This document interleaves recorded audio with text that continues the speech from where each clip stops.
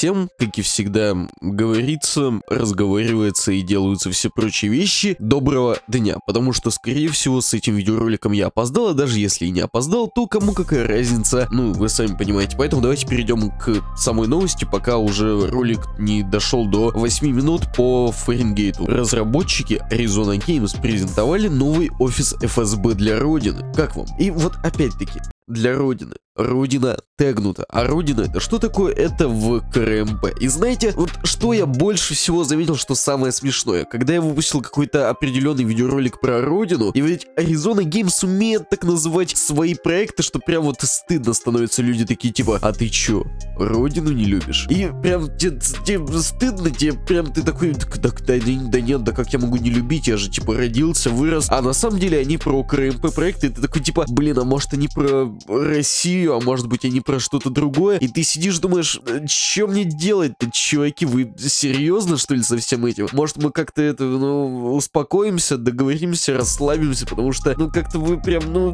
я, я прям вот не знаю. И тут, ладно уже, пофиг, то есть Arizona Games, Родина РП, КРМП и так далее, меня больше всего заинтересовали сами вот эти вот все интерьеры офисов, интерьеры всех прочих вещей, давайте мы их сейчас тут и рассмотрим, потому что, почему нет? Типа, почему я не могу рассмотреть офисы и, типа, сделать все нормально, хорошо, неплохо, я не понимаю. Вот, значит, первый скриншот это у нас тут офис, на компьютере там, знаете, госуслуги открыты, как это обычно и бывает, и, в общем-то, тут больше ничего такого интересного, как бы, нету, а что вообще может быть интересное, непонятно и не важно на самом деле. Потом мы переходим дальше, и тут мы видим, типа, тоже офис, только тут уже мы видим э, кофе-машину, кофе-автомат, все прочее. Как-то у меня была история, я решил там, знаете, зайти в этот кофе-автомат первый раз в жизни попробовать себе что-то заказать, заказал себе там латте, по-моему, или что-то, или эспрессо, или вроде того. И понимаете, в чем дело? Вот этот вот терминал, вот эта вот кофемашина, она деньги взяла, а кофе не отдала. Я такой, типа,